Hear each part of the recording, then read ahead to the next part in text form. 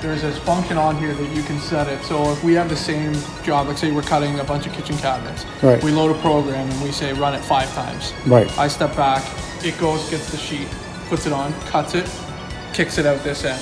All I have to do is come back here and unload this table. It has a sensor here that it'll push it onto and stop when you get material right here.